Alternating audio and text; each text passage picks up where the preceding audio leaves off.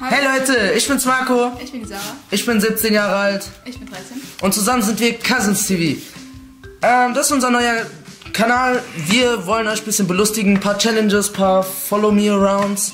Und ja, da hinten seht ihr schon einen Typen, zu dem komme ich gleich.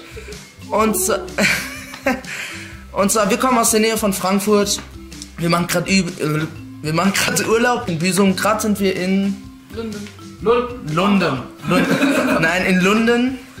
Und ja, wir wollten gerne zur Vorstellung quasi, ein Vorstellungsvlog, äh, eine Challenge machen. Und zwar eine Kartoffelsalat-Challenge, weil wir uns ja gerade im Kartoffelsalat-Büro aufhalten. Und ja, darum geht's. Der Michael David Pate, der Regisseur von Kartoffelsalat. Peace. Möchtest du was zu dir sagen? Ja, ich bereite gerade eine ganz fiese Challenge für die beiden vor. Die wissen noch gar nicht, womit sie es zu tun haben. Aber zuerst einmal führen wir euch ein bisschen rum, wenn ihr schon mal hier seid. Ne? Also das ist unser Büro, wo normalerweise überall Leute sitzen. Wir haben aber Weihnachtsferien, das heißt gerade ist keiner da. Draußen scheint die Sonne, wie man sieht. Bald auch Böller so, die ersetzen die Sonne, damit es ein bisschen heller wird hier drin. Hier schreibe ich meine Filme. Da ist schon wieder Oder auch nicht. Ich tue vielleicht einfach nur so, als würde ich arbeiten. Ja? Hier könnt ihr gucken. Da, guck mal, sogar die alten Filme damals auf VHS aus meiner Kindheit. Zurück in die Zukunft, Jurassic Park.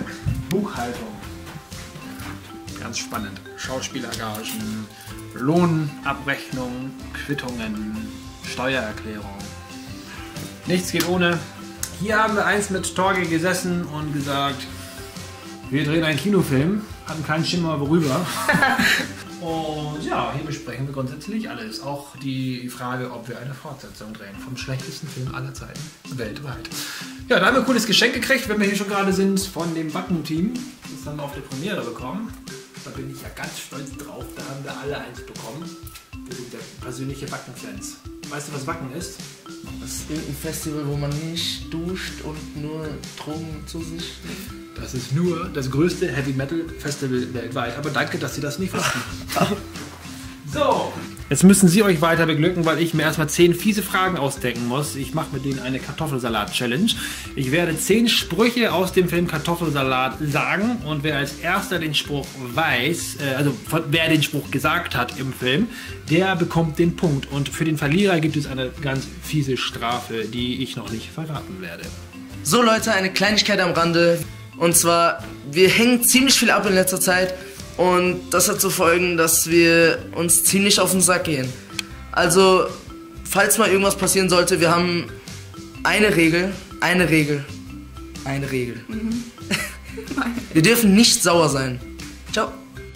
So Leute, die zweite Kleinigkeit am Rande. Wir haben heute Silvesterabend. Noch eine knappe Stunde, dann ist 2000, dann ist, dann beginnt das Jahr 2016 und wir sehen natürlich heute alle gut aus. Ja, das ist ein bisschen unter Spannung, ist von vor drei Jahren.